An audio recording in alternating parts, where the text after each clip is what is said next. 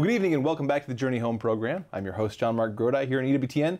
And once again, we have this great opportunity to come together to think on the good things the Lord has done in our lives. And tonight, in particular, we're uh, joined by Courtney Comstock. She's a former Pentecostal, uh, sharing her story of how she discovered the Catholic Church. Courtney, thanks for being with us tonight. Thank you for having me. I appreciate you coming to share your story.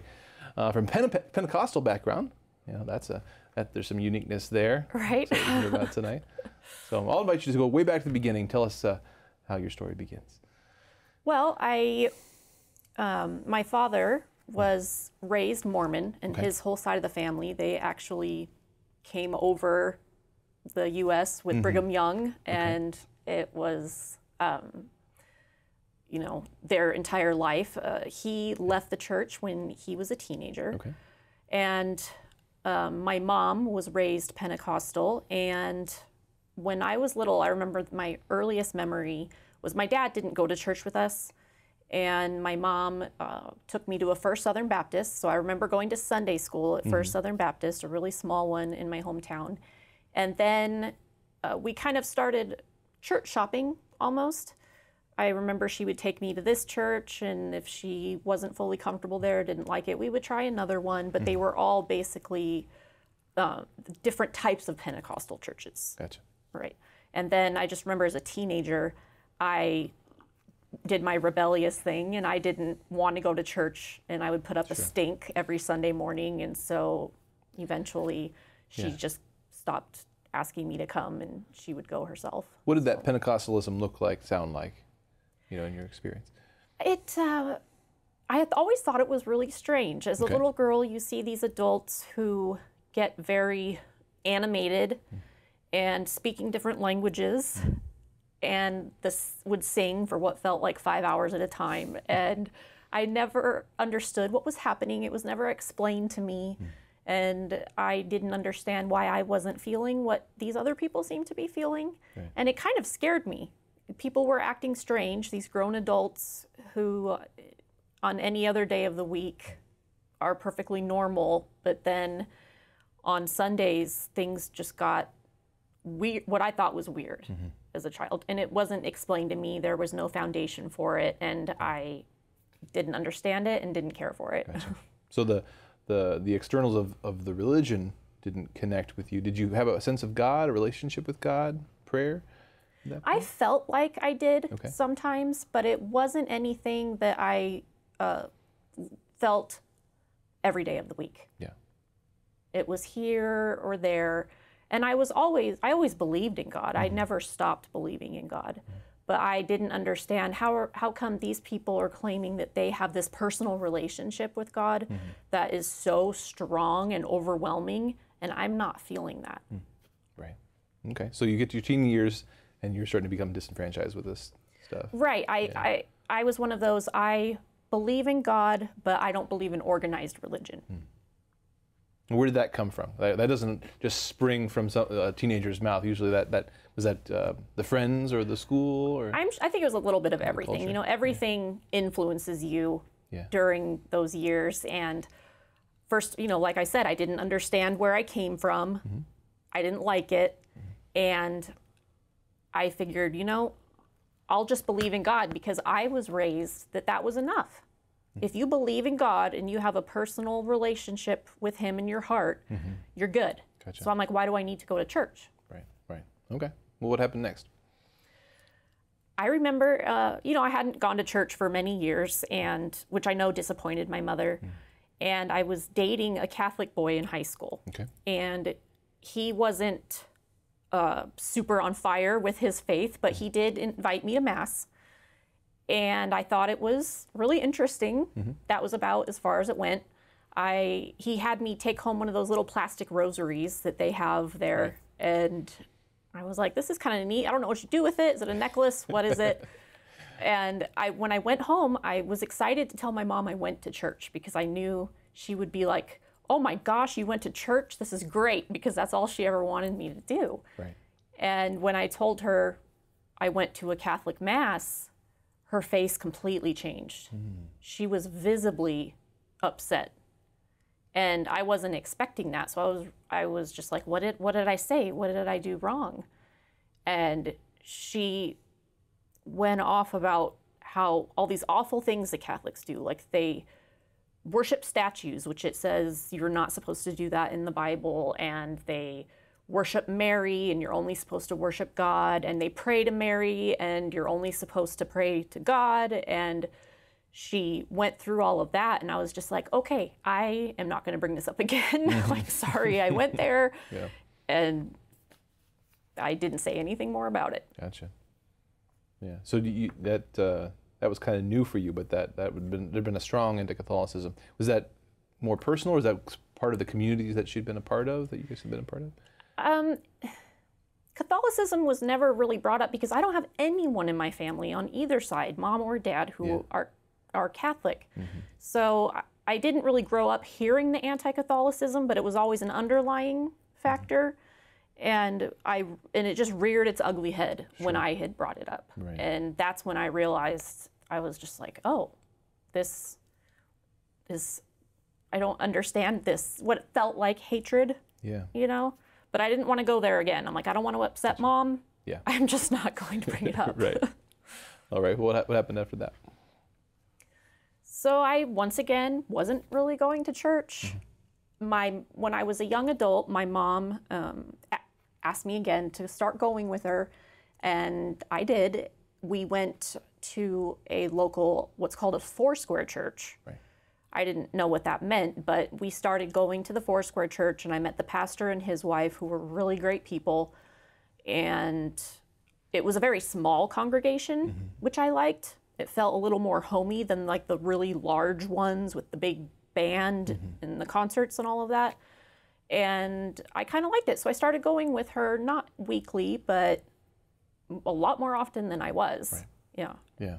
And then my boyfriend at the time had proposed to me. I was about 21, and we decided to get married in that Foursquare church. So I did all my marriage prep there. And um, at the time, he was living in another state, so we did long distance marriage prep. So I did that with the pastor and his wife, which was great. And um, I felt pretty at home there, actually. Yeah. Yeah. Okay. Well, then what happened? So, fast forward, um, after being, you know, being too young to get married and not understanding what I was getting into, Yeah. and getting divorced, and um, fast forward to where I meet, re-meet my current husband. We had dated several years back, and then we reconnected and got married, and he was in the Air Force, so I moved with him to where he was stationed. I got pregnant and I started shifting my mindset here eh, where I was thinking there is a miracle happening inside of me right now. Like mm. I am growing a human, which is, and then, you know, when you can start feeling the baby kick and stuff, it just feels miraculous. It's amazing what is going on in there. And I started thinking of a higher power again and how we all fit into this and what it means to create another human being. And I had a couple of Catholic friends back home. Mm-hmm. And I was like, you know what? I'm going to call one up. And my friend Rachel, and I asked her, I'm just, I said, you're a good Catholic. You go to church all the time. I'm like, why does everybody hate you guys? I honestly want to know. And she laughed and she just said, We are so misunderstood. Hmm. So misunderstood. And she goes, Why don't you start doing some research and you can figure out on your own what it is that we believe? And so that kind of started this domino effect. I was just, I wasn't interested in mm-hmm. becoming Catholic at all. Mm-hmm. I wasn't interested in going to church again weekly. I just had questions. Right. And was your husband? What was his? My husband was not raised in any religion whatsoever. Okay. Um, I mean, he had never even heard of the most basic Bible stories that they teach you, especially in, in like the Pentecostal Sunday school, Right. where you learn about Moses and Jonah, and he had never heard of those Bible stories before. So he was really just not exposed to it at all. Right. Yeah. Yeah. We're joined tonight by Courtney Comstock, former Pentecostal.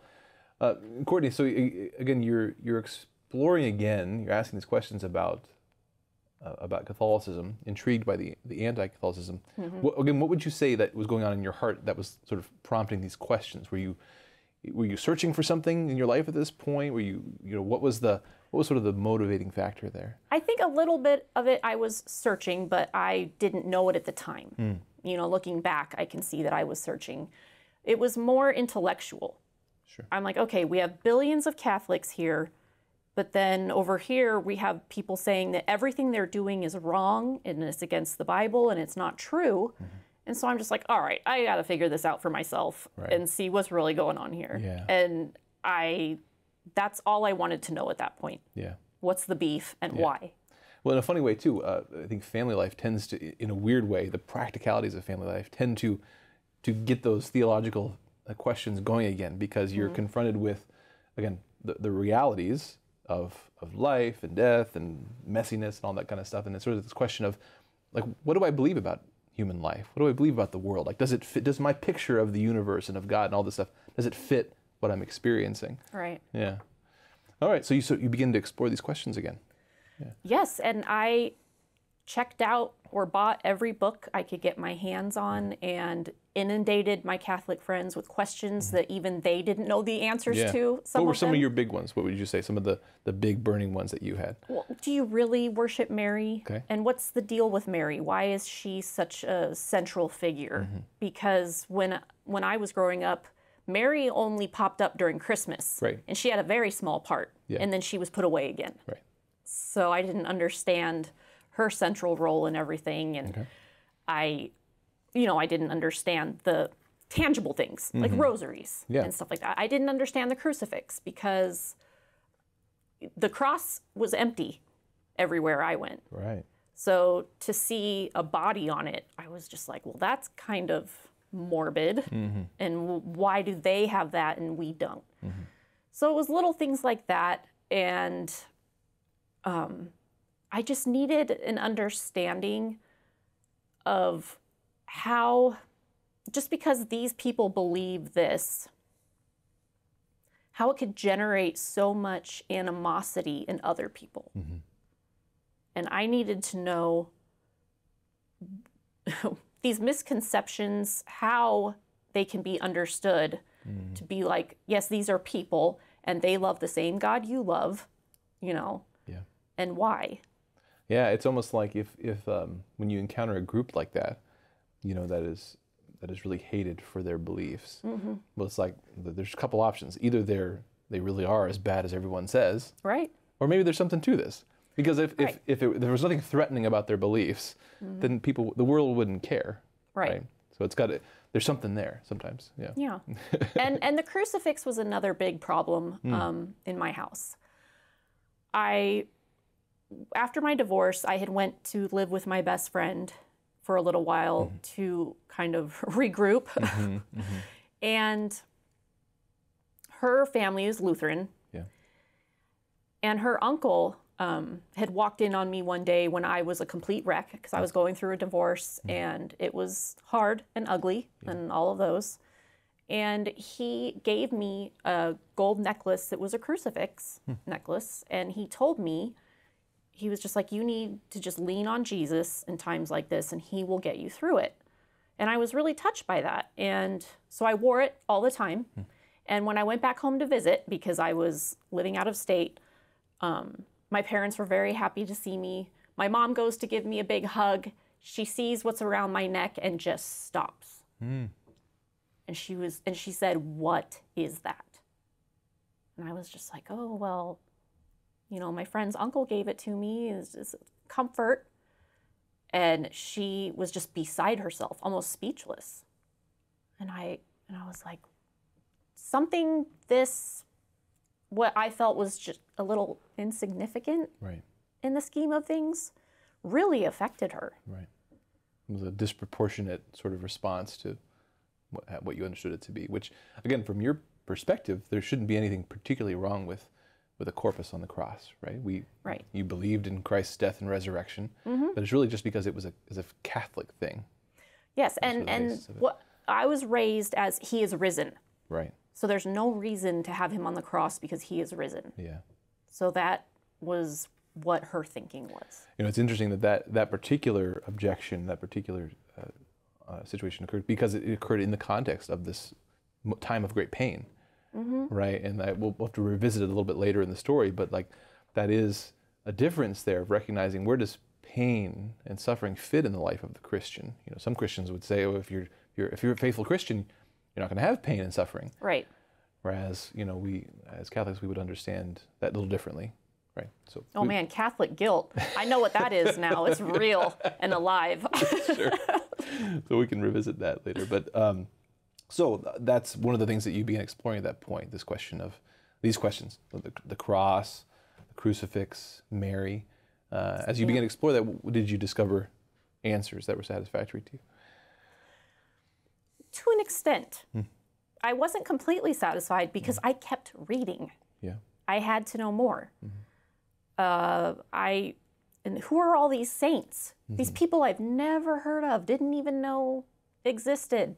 And it just kept every layer I would peel off, it would reveal something else. And I'm like, oh, well, where does that come from? How does that fit into Catholicism? Mm-hmm. And it just kept going and going and going. And anyone who's researched Catholicism, I mean, it's daunting. Yeah. It, we, we've been here a minute. So yeah. it was a lot. I wasn't feeling like I wanted to convert though. Yeah. It was purely intellectual More for a long time. puzzle. Yeah. And what were some of the surprises, you know, that you that you found in that? Most of the surprises I found were in this book that I read called Why Do Catholics Do That? Right. And as I'm reading, this author would take all of these little tidbits about Catholicism, like the crucifix, genuflecting, the rosary, even the sign of the cross, mm-hmm. and connect it to scripture and tradition. Mm-hmm.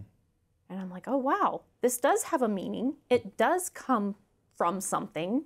This wasn't made up by a bunch of, a bunch of guys sitting at a table. Mm-hmm. This is a thing, and it has roots. Yeah.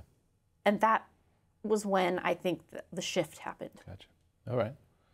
Yeah, all those roots, they you follow those things back, they all come back to Christ, right? Mm-hmm. Even the things that don't immediately seem to be about Christ, like this focus on Mary. That that's a big a barrier for many people. You know, like why are we talking about other people other than Christ? Mm-hmm. But of course, as you dig into Catholic devotion about Mary, well, Mary's always pointing to Christ. You know, and any of the saints, right? The only reason that we venerate them, that we we ask for their intercession, that we focus on them, is because they give us this example of living out following Christ. Right. But it all comes back back to Him. Mm-hmm. Right. So this shift begins to occur. Talk about that. Yeah. I I'm like, okay, this makes sense to me and I feel okay about it. Which I kept to myself. Except for a couple of Catholic friends. Yeah. And I don't remember um, I wasn't really into this into uh, the history of the saints per se. I was really trying to get into the stuff that most misconceptions are focused on. And my friend Rachel, once again, she gifted me a copy of Butler's Lives of the Saints. Mm-hmm. And I was going through it and reading about a saint a day because that's how it's set up. And I came across on October 12th, there was um, a little thing about Saint Cyprian of Carthage. Mm-hmm. And I was reading it, and they had a couple of his quotes in there. And I don't know why, but I was just like, I like what this guy is saying. Mm-hmm. Something about it really clicked with me. So I started researching him, which, oh my goodness, he liked to write. Mm-hmm. and I started looking up his treatises, and then mm-hmm. I decided, you know what, I need to read everything this guy ever wrote mm-hmm. because I can't get enough. And he's uh, an early church father, so he's writing in within Early church, right, right? just you know generations after the apostles. So we're talking about a time of church history that again many Protestants probably aren't super familiar with. Nope. Right, there's just kind of a gap there. Yeah. Oh yeah, Be- I I didn't know there was a such thing as church fathers. I mm-hmm. have never been told you should read the writings from the people who were taught by the apostles who were taught by the apostles and so on. right, you know, that wasn't a thing. You don't go back that far and read that. No. Yeah. It, and I I'm reading these church fathers and I'm thinking everything they're saying and talking about is the same thing Catholics are doing now. I'm like that is amazing. How much closer to Jesus can you get? Mm-hmm. Because we are walking in the footsteps, the spiritual footsteps of what the, these people were doing to, over 2,000 years ago. We're doing so many of the same things with the same beliefs. Right. And that connected me with Jesus mm-hmm. like I have never felt before. Yeah. Yeah, you know that the, encountering the early church fathers, part of what it brings there's the specific specifics of the writings themselves, the doctrines, what they're talking about, but it's like the the meta question there is, you know, what what is the shape of the Christian faith? How does it work? How do how does uh, what Christ taught and what He said? How does that get to me? You know, I mean, the Bible, of course, is, is an obvious example of this question where we have many Protestants grow up with a, a, a basic sola scriptura idea. I get it all from the Bible, but where did the Bible come from? Where does it fit in the history of the story? And once you start digging into early church, fathers, you recognize, well, Christianity has this historical shape. It has this ap- apostolicity. It has this uh, historical continuity. That's part of what it means to be Christians, to connect with them. And so these questions about, well, yeah, what did what did those fathers a few generations after the apostles think? That becomes a, a really important question. Well, and just like you mentioned the sola scriptura, that's so right. We are never we don't have time to be curious about what came before the Bible because mm-hmm. it is the Bible, Bible, Bible. You you memorize your verses, you wear t-shirts that say John 3:16 and you call it a day. Yeah. You know? And so I was never even curious about what came before that. As far mm-hmm. as I knew, it didn't even exist. Right, right. And you dig into those fathers and you realize, well, they, you know, the first you have the history of the Bible itself, how it mm-hmm. came together, how it was the authority of the church, you know, that canonized those particular books and Right. left others out, you know, that, that they concluded weren't inspired. But also then that there's a there's a continuity, there's a tradition, there's a history of the church interpreting and guarding and dealing when there's questions about, well, what does the scripture mean on this point? What does it mm-hmm. say? Uh, there's a history there. Uh, it- it's not up to me and my Bible alone that there, Right. there's, there's, a, there's a tradition to connect with here about how I even approach some of these questions. And how can you read the church fathers and and see how they worshipped back then Yes. and their um, writings on the Eucharist? Mm-hmm. How can you read that and be like, well, that's not right. They're wrong. Hmm. This is how we worship now. This is the right way to do it. Mm-hmm. I don't. I, there's a total disconnect there for me. It at least begs the question. Right. I, I have to I have to have a good re, a good question or a good answer to the question of why am I not Catholic? Mm-hmm. Why am I not doing these things? Why am I? I we didn't ask about that earlier. Why am I Protestant? Would you have identified as a Protestant with that that term? Would you say I'm a Protestant Christian? I identified as non-denominational. Okay, yeah, Mm-hmm. yeah. Because even that even that name, you know, protesting what? It still Yeah. begs the question that there's a history there that I should know and I should have an answer for. Right. Yeah. Well, let's take a little break there. Okay. You know, this shift is beginning to occur. You're asking these questions and you're encountering the early church fathers, which of course opens a whole new world. Oh yes. We'll be back in just a couple minutes. Um, again, thank you for joining us for this episode. We'll hear the rest of Courtney's story here in just a few minutes. Uh, I want to encourage you to go to chnetwork.org slash story. There's actually a written version of Courtney's testimony. It's entitled The Courage to Convert. And there's as well as hundreds of other stories there from every background. And so you'll, you'll find someone who talks and thinks uh, and believed as, as you have or do, uh, but you also hear their stories about how they came to believe in the Catholic Church. And so check that out at chnetwork.org slash story. In the meantime, we'll be back in just a couple minutes to hear the rest of Courtney's testimony. See you then.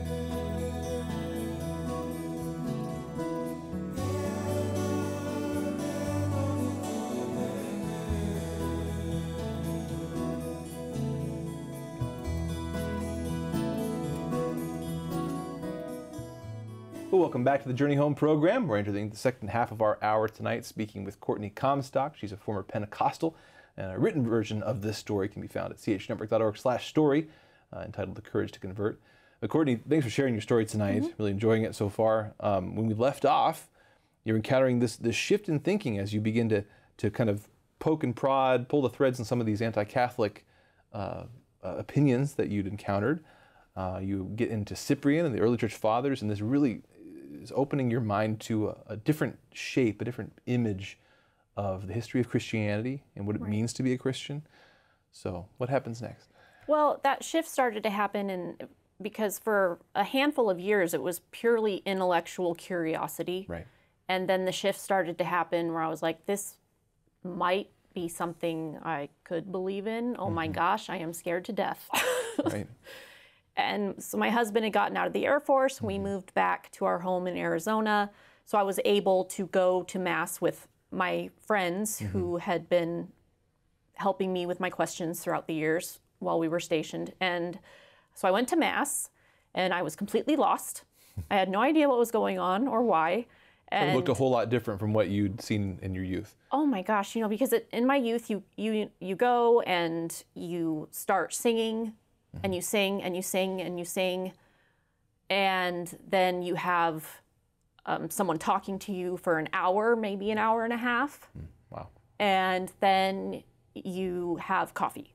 Hmm. So this, I I had no clue what was going on. I was so lost, and my friend was just like, "Don't worry about it. Just, you know, you don't have to kneel or anything. Just take it all in." Yeah.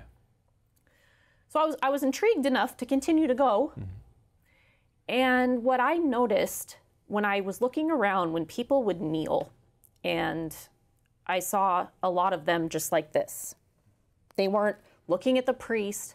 They weren't worried about what everyone else was doing. They were all just in their own place. And it was quiet and it was peaceful. And I'm like, this is reverence. I have never seen reverence like this. Just, I was in awe. And I'm like, this is what it means to have a relationship with Christ. This isn't scary or weird or loud or strange. It is just pure, uninterrupted reverence. And I said, I want that. I have to have that connection. That's the relationship that I want. And then I started to pine for that Eucharist. And I'm like, I, I need to have that right there. I need that in my life. Yeah. So my friend was like, Well, you better sign up for RCIA. And I'm like, What is that? Yeah. So, and, and, and the Eucharist is one of those things that you encountered in your reading the early church right. that obviously was very different than what you brought up with. Um, and probably even not, not just the Eucharist, but really the whole sacramental economy, the whole the whole sacramental view would have been different. I mean, what do you recall growing up as a Pentecostal? What was the view of baptism? What did baptism do? I was not baptized. I remember I had asked my mom Okay. at some point when I was younger why I wasn't baptized, and she said it wasn't necessary. Okay. You just had to ask Jesus into your heart and, you know, be a good person, and you're, you know, you don't need it. You don't need to be baptized. It's not necessary. And so I thought people that were baptized were just taking it a little too far. I'm like, all right, now you're getting fancy. Right. Calm down. And uh, when we had, we would have like the little tiny grape juice cups that they would pass around on like a tray. So everyone had their own little shot of Welch's and then some little crackers and that. And I was just like, oh, a snack. Like it didn't have any meaning to me. And so when I saw that people were receiving the Eucharist, and I'm like, well, I can go do that, right? You know, and it's just like, no, there's a, a few things you need to take care of beforehand. And I'm like, okay, I can do that. So Right. I go and sign up for RCIA and I explain my story to the RCIA director and Right. And it had come up. He had asked, "Okay, well, have you been married before?" And I said, "Oh yeah, oh yeah." But you know, I'm my husband now. We're good. We've got a family. You know, and he said, "You might have to get an annulment. I'll have to get you in contact with one of our deacons who does that." And I'm like, "What is that? I'm divorced. It says so in court. Mm-hmm. I can give you the paper." Mm-hmm. And he's like, "No, no, no, no. This is something else entirely." And I was so confused. I'm like, what does this mean? I don't get it. yeah. Well, it's interesting. It's funny because you're running up against, uh, in all three sacraments, really Right. baptism, marriage, and the Eucharist. You're, you're running up into a very different view of what the sacraments are. Because if they're merely symbols, well, then what, what- you know, if, if it's just something I'm doing, Right. maybe as a, an act of piety, then, then what's the big deal? You know, if I go receive Eucharist at the Catholic Church, even though I'm not Catholic? What's the big deal if I've been Yeah. married and divorced? What's the big deal about baptism? Because I'm sure that you're going to have to be baptism as part of this Right. process. We're going to hear it in a bit. But what, what's the big deal if it's merely a symbol, if it's merely Mm-hmm. a, an act of piety? It's very different because we would see as Catholics that no, these really do something. Something real happens that's beyond my consent, beyond my belief, beyond my will. Something really happens in the sacraments, and so they they're a bigger deal than than Right, and and you know, growing up uh, Protestant, people get married and divorced, and and it doesn't put a hiccup in their church life. yeah You know, you just keep doing what you're doing. yeah So I had no, in all the years of research that I had done, for some reason, I had just never come across this topic. yeah. I mean, this was probably a pretty big bomb to drop on you as you're Right. So I had called the deacon and I met with him and I'm like, all right, what does this mean? What is it you need me to do? Just tell me what to do. I will do the things, whatever. Let's do it, get it over with because I'm just a very like, let's get it done type of person. Yeah. And he, he told me, he said, okay, well, technically, you are not married to your current husband. I'm like, yes, I am. It says so on the paper. and and then he proceeded to tell me about how marriage is for life and it cannot be dissolved by you know the city government that stamps your paper. And it, when he told me about this process i would have to go through he's like there's this questionnaire that you're going to have to answer because we're going to have to figure out where your relationship fell apart before you even got married where there wasn't um, a bond there in the first place. And um, we you're going to have to get witnesses and basically what i was sitting there and i just kept shrinking and shrinking and shrinking and thinking i am never going to make it. This i i can't see the finish line anymore. And i was really upset. I had a really hard time coming to terms with that because i didn't understand. And uh, I remember talking to my friends about it, and they were just like, "Why are you doing this? Mm. Why even? I mean, the Catholic Church has so many rules. It's so ritualistic. You know, why put yourself through this? Mm-hmm. You don't have to do this. Just let it go." Mm. But I couldn't. yeah yeah, and you didn't. So Well, the- apparently, so in my diocese, Yeah. uh, they're you know understaffed and very far behind. So the deacon had told me, you know, you cannot be received into the church until your annulment has been decided, okay, and it could be decided either way, Mm-hmm. and it could take two years. okay. So you started the process. I did. I started the process right when I started I- RCIA in the fall of 2017. And then I found out after that my husband was going to have to get an annulment as well. Because he had been previously married. and he's not religious, like I said. Right. He's not looking to become religious. Mm-hmm. He doesn't want to enter the Catholic Church. So I was like, why does he have to do it? Yeah. Yeah. like I don't understand. yeah. And so I had, my husband was aware of what I was doing with my annulment. Mm-hmm. So I had gone to him and I'm like, how much do you love me? because I'm going to have to ask you a really big favor. Mm-hmm. And I explained to him what he was going to have to do the process as well. And I'm like, are you willing to do this for me? And he said, well, I love you. I know that this is very important to you. But please don't ask me to join the church, to become Catholic, or to do anything that I don't want to do. But yes, I'll do this for you. And I said, That is a deal. I'll take it. Yeah. so then he started working on his annulment process as well. And of course, he had to get witnesses. So his family members that he had asked to help him corroborate his relationship were just like, What is this? Right. What does this mean? What are you doing? I don't get it. Right. So it, I mean, thank God that they participated. Yeah. But yeah, people didn't understand it just as much as I didn't understand it. Right. Yeah. Okay. But it kept going, right? You didn't give up. You persevered. Yeah. Um, After RCIA was done, um, the Easter of 2018, Yes. I watched my classmates get received into the church, and mm-hmm. my and my husband's annulments were not complete. Mm-hmm. So I remember on Easter Vigil, I was sitting in the front pew watching them get baptized and confirmed, and I was just sobbing mm-hmm. because I had spent eight, nine months with these people, learning and growing and going to retreats, and coming to this point that I could not participate in. Yeah.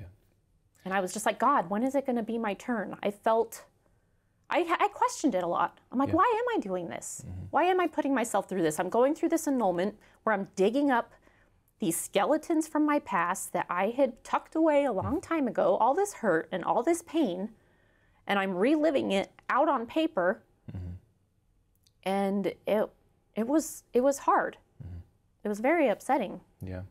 At the same time, through that RCIA process, had you had you come to understand the faith more? That, that obviously had cemented more your desire to become Catholic, which is what led to that that pain. Right. Yeah. uh, I remember we went on some retreats, and um, I, I remember um, one of the mentors in the RCIA program. She loved the Rosary, and she really wanted us to just try it and get a feel for it. And I could not connect with the Rosary. I was just this is repetitive prayer. It's strange to me. I couldn't do it. I also still had trouble with the crucifix. Mm-hmm. And I remember my RCIA director, he said, Here's what I want you to do. He said, I want you to buy a crucifix for your house, put it somewhere where you see it every day, and I want you to kiss it. And I'm like, Really? And he goes, Trust me, kiss the crucifix. Mm-hmm. So I did it. I bought one, I put it on my mantle, and I felt strange, but I kissed it, making sure nobody was watching. and it really did change me. Now I have one in every single room. Hmm. What do you think that is? What what was the change there? Someone had explained it to me that the crucifix, looking at a crucifix, that is what should remind you of what sin looks like. Hmm. And the pain that he went through, that's the pain of sin. And it's a reminder to be, you know, to be not, don't let sin dominate your life. Mm-hmm. Because look what he had to go through. Right. And I was just like, I've never thought about it that way. It's like the gospel all put together in one there. There's our sin, there are the effects of our sin, but Yep. also there's the depth of God's love Right. for us. Mm-hmm. Yeah. Yeah. All right. So you get to our, you get to the end there, you get that Easter, Easter vigil, and you're even more, in some sense, in, in conflict and pain because you're not able to enter the church, and you've been learning more about it, and you've been growing in it, but it's not. Uh, It's not there yet. there yet. And and I'm waiting on my annulment decision, and um, then it finally came through, okay. and they had accepted it, and it was annulled, and I felt this weight come off of me that I mm-hmm. didn't realize I was carrying around since my divorce. Mm-hmm. It's like all of it was gone. Mm-hmm. It was very cathartic. And I'm like, I get it now. Through that whole process of digging up the past and reliving all of that and the pain and the hurt, and then I didn't realize it was weighing me down Yeah. and it was gone. Yeah. You understand annulments a whole lot more now, and we'll talk about that later. I mean, that mm-hmm. you're actually involved in, in some of that ministry. But looking back now, interpret that weight a little bit, if you would. Because what, what I mean, especially for those who aren't familiar with it, like what is the difference between an annulment and a divorce? Why was it necessary to go through that? How would you explain that to somebody who's maybe encountering that bomb being dropped on them when they want to become Catholic? Right. Well, when you read in scripture, it does say that marriage is indissoluble by man. And so you mm-hmm. have your secular government that mm. says, you know, here, yes, you're divorced. Yes, you're married, and here's a piece of paper that proves it. That mm. doesn't mean anything mm-hmm. in canon law. Mm-hmm. You know, they don't care because this is a scriptural thing, it's not a, a legal thing. and the thing with annulments that I learned is I thought, okay, I'm just going to have to write about all the nasty things that happened during the marriage and why we mm-hmm. got divorced. Mm-hmm. And that's not it. Right. They want you to look at the beginning, like the courtship. Mm-hmm. Because if there was not a a bond and an, and also both parties going into it with a complete understanding of what it means to be married under God, Yeah. you know, where was that disconnect in the beginning? Mm-hmm. And that really opened my eyes because I found a whole lot of disconnects in, in the beginning Right, right. once I really thought about it. Yeah. And it's just, I was like, oh my goodness, there really was not a marriage there. Mm-hmm. It was, I, it was not Yeah. a sacramental, loving relationship under God. Yeah. In some sense, the fact that you you got all the way up to the church and then encountered the necessity of receiving an annulment and it and didn't have any understanding of even why you would have to do that. Right. That itself sort of reveals like, okay, my understanding of marriage was obviously very different than how it's been understood throughout the history of the church. Oh, yeah. And in, even in my marriage prep in the Foursquare Church, Yeah. I didn't have an understanding of what marriage was after that. Right. I was amazed at how much of a disconnect there was in my head mm-hmm. about, you know, legal marriage, but the marriage that God intended. Yeah. Yeah, the church takes these things really seriously because Oh, it, yes. it's it's not something that we're doing. It's something that, that we guard and we but when we approach, but it's ultimately the sacrament is something that God does. He draws close in these circumstances. And so being really clear about what those are, when they really are there, when they're not, that's the church takes that real seriously. So finally, after a long last, after much perseverance, the, it comes through. Yes. So Okay. now on to my husband Yeah. and his annulment. Right. um, he wasn't in, he wasn't in my position where he was really on fire to get to that finish line and get this done so he could move on and all of that. So he was taking his time. Um, I love him, but he mm-hmm. was taking his time. and I'm just like, you need to get this done, please, and mm-hmm. turn it in. Because I could not become Catholic until his annulment was taken care of. Mm-hmm. So several months later, um, his comes and his annulment came through, hmm. and it was the week before Easter Vigil 2019. Hmm. So I called my pastor and I said, okay, I'm ready. Both annulments came through, and I'm going to be ready on Easter Vigil, and I'm so excited. And he said, well, there's another step. And I'm like, God, really? Like, why? Why? Keep looking at that crucifix. Why are you that doing this to me, man? he said that I might have to get, we might have to get our marriage convalidated in the mm. church, and and I had been to a friend's convalidation ceremony, so I had an idea of what it was. And for those who don't know what that, what that what would that what would that entail? It's basically um, having almost like a wedding ceremony, but on a little bit of a smaller scale. Um, and you can have it with a mass or not, or at least in my diocese, that's how it works. But it's the, the, the church is recognizing and blessing this Mm-hmm. marriage that was previously done outside the church. Correct. Yeah. Okay. And he said, the, my, my priest said, I don't know if we're going to have time to do that before Easter Vigil mm. because it was a, a, within a week. Yeah. And I was so upset. And he goes, This is what I want you to do. He's like, I would like you to pray for the intercession of Mary, undoer of knots. Just pray that this is all going to work out and that she will guide you through it. He's like, I'm going to call the tribunal and see what our next step is. So I would just walk around work. I would take a break and walk around and just pray to Mary and ask for her intercession. I said, undo this knot because I feel mm-hmm. like I've been in this knot for a while and please help me figure this out. You're like the, the guest at the wedding of Cana going to Mary, saying, "What do we do about this?" Right. It's like what do I do? I'm I'm I'm doing what I need to do, but it just I keep hitting what I felt like were roadblocks. And my priest called me the next day and he said, You don't need a convalidation. He's like, Neither you or your husband were baptized. Hmm. And he's like, Your marriage is considered a natural marriage in the church. Right. And he's like, I'll see you Easter Vigil. Haha. Wonderful. Yeah. All right. So you did it. So tell us about Easter Vigil. I don't remember a lot. Yeah. It's it's kind of like a wedding night almost, Sure. you know. You have this big ceremony and party and then you wake up the next day and you're just like, "What happened?" it's a blur. But I do remember I was the first one to get baptized. There was a long line of us, right.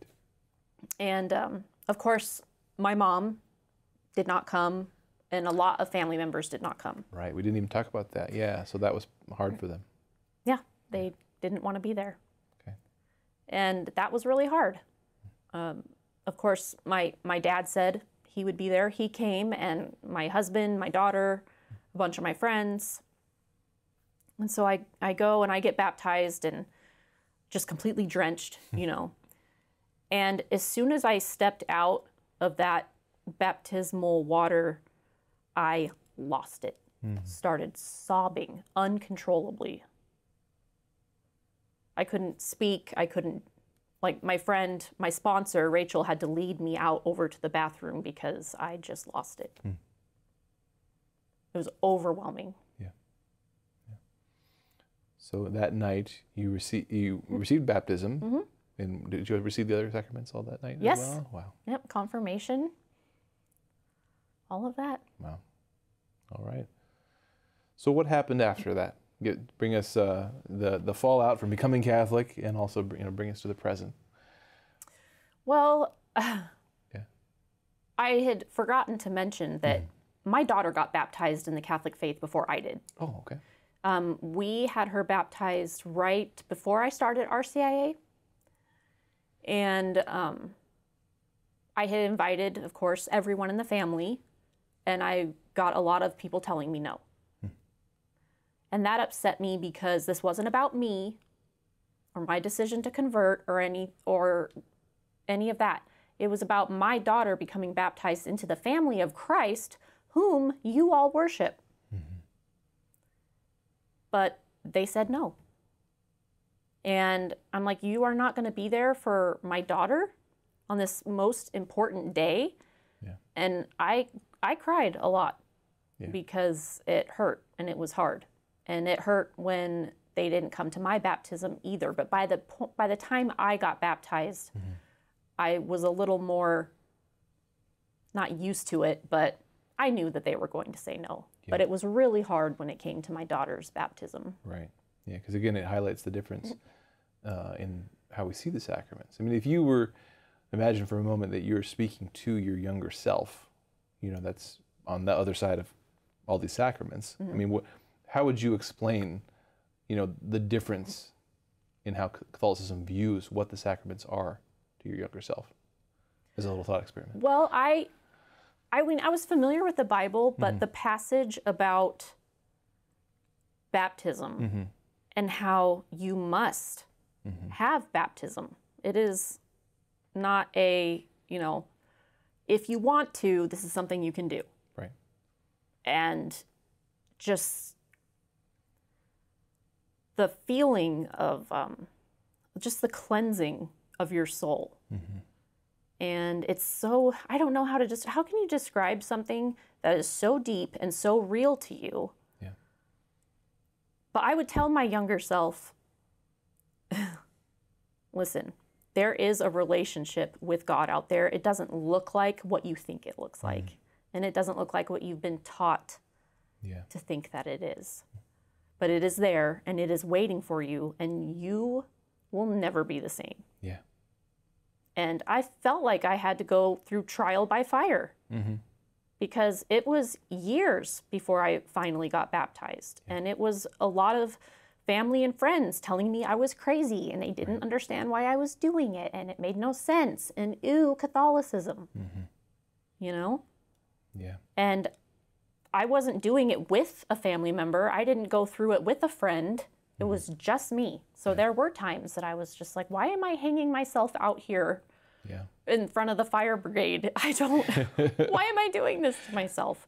Well, and baptism is a significant one to focus on because, uh, unlike some of the other sacraments, baptism we receive even as infants in the Catholic Church, which highlights that baptism does something. God is doing something. It's not dependent on my choice, per se. It's not dependent on my feelings or my emotions, right? I may not be having a, a big emotional, charismatic experience, it's what God is doing. And so it's funny because from the outside, sometimes people look into Catholicism and say it's a bunch of rules and check boxes and Yep. a bunch of works righteousness. Mm-hmm. When really on the inside, we- we we recognize, no, these sacraments are something that God's doing, you know, and and and it, it- my part in it is minimal. It's about Right. God doing something to me, you know, Mm-hmm. out of His great grace and, and love. So, we have about uh, four minutes left. I mean, bring us up to the present again. What what what happened after you became Catholic, and, and what are you doing nowadays? Right. So, um, you know, attending Mass, bringing my daughter with me, of course, and trying to teach her about the faith, getting her into her um, religious education courses, and helping her get ready for her first confession, which was just wonderful. And then she gets her confirmation, and she's so excited about it. And I just love teaching her about the faith. You know, we pray together every night, and she um, you know, she is starting to do the thing that I used to do is don't wake me up, I don't want to go. I don't don't make me go to church, but I'm really trying to in, instill in her things that I felt like were not instilled in me as a child. But, you know, for all my railing and ranting against the annulment process, uh, the deacon who um, helped me through it called me and asked me if I would join the nullity ministry at the parish and get trained in canon law and help other people with their annulments. And I'm, I was like, really? And he goes, I think you would be just right for it. Yeah. So I got trained in the that part of canon law. And for the past few years, I've been helping people with their annulments, which there are different kinds. They're not all formal like mine. Right. And it's it's been so great because I am helping them enter the church into full communion. Yeah. And I get to kind of relive that. Right. And you know their pain. You know the, how it's bewildering and how you're sort of again it's the trial by fire. In the end, you're going to understand the reason. But at the outset, it's just a struggle. It is. And I tell them, I'm just like, this is going to be worth it. It is, trust me, mm-hmm. stick with it. Because there are a lot of people who come meet with me mm-hmm. and I tell them, here's what we need to do. And I never hear from them again, Right. which is sad. Yeah. Well, that it highlights that you know there's there's different aspects to the faith. There's the intellectual. Uh, again, you, you started your journey asking those questions and digging into the reading and all that. Mm-hmm. And that's an important part of it. But a lot of it is just experiential. It's just wor- working through it and coming to know Christ, coming to you know, this this reverence, this experience, experience the sacraments, and you need other people for that. Right. You need the, the support of a community. You know, and I, that's a wonderful ministry for you to be part of. Uh, wa- walking through other people going through that same process. Yeah. All right. Well, Courtney, thank you so much for sharing your story Yeah. with us. I appreciate it. Thank I, you. and I pray that, uh, thank you for joining us for this episode. I pray that Courtney's story was an inspiration to you. You know, again, as, as we highlighted there toward the end, uh, we can read all about the church. You know, we can, we can approach the church, we can read our way in, but ultimately, uh, they're still going through the process. They're still receiving the sacraments. They're still working through the complicated emotions. Uh, and so it's great to hear that there is that ministry available to those who are uh, needing to go through annulments. Um, it highlights something I wanted to, to bring up at the end here that uh, the Coming Home Network, if you go to chnetwork.org, uh, we have a whole ministry of accompaniment uh, as people encounter the Catholic Church. And actually, if you go to the website and click on community, we have a whole online community of people, converts as well as journeyers, who are encountering the sacraments, who are learning about the Catholic faith, and who are, in many cases, having to uh, uh, discover the, the truth and beauty of marriage the hard way, you know, through the, the annulment process, going through these long processes, a lot of patience, a lot of pain, a lot of revisiting things. Right. And so, um, you know, uh, you, you can check out that that community uh, for to, to connect with others who are going through that process and have accompaniment fellowship on that journey. So, and, we'll be praying for for you, all those who are going through that process for sure. All right. All right. So, well, once again, uh, God bless you. Thank you for joining us for this episode of the Journey Home program. We'll be back next week with another story. I want to remind you, as always, hey, that it's not just uh, coming on this show and, and listening to other people's stories and being encouraged by them. It's it's very important. But you yourself are on a journey. That's what we always want to be reminded by these stories. That um, for Catholicism, everything is significant. Everything that's happened to you is significant. God is on a journey with you. He's present with you. He's in your pain. Uh, And that was an important part of that story that we heard tonight with, from Courtney, looking at that crucifix up on the wall in our churches, in our homes, remembering that, you know, that's the reality of our sin, of our brokenness, but that's also the reality of the depth of God's love He's with you in your pain, He's with you in your difficulty.